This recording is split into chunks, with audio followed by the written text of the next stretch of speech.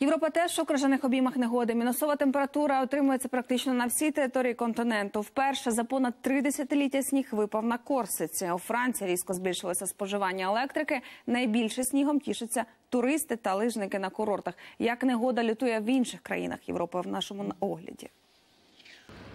Чудовисько зі сходу лютує у Великій Британії. Так називають циклон із Сибіру, який днями накрив Європу.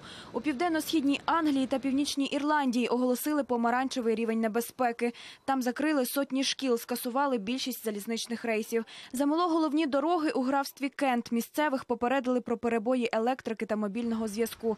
У деяких районах температура впала до мінус 15. Востаннє у Британії було так холодно 27 років тому.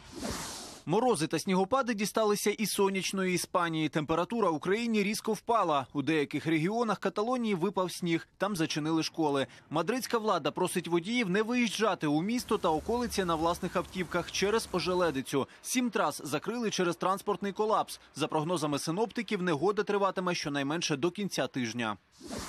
У Франції від морозів рятують безхатченків. Інженер із Бордо створив для них хатинки, у яких можна перечекати холод. Ззовні такі притулки схожі на іглу хижі ескімосів. Вони ізольовані від холоду, а всередині в них вбудований підігрів. Тому температура там буде на 15 градусів вища, ніж на вулиці. До того ж ці хатини екологічні. Їх уже роздають бездомним у столиці.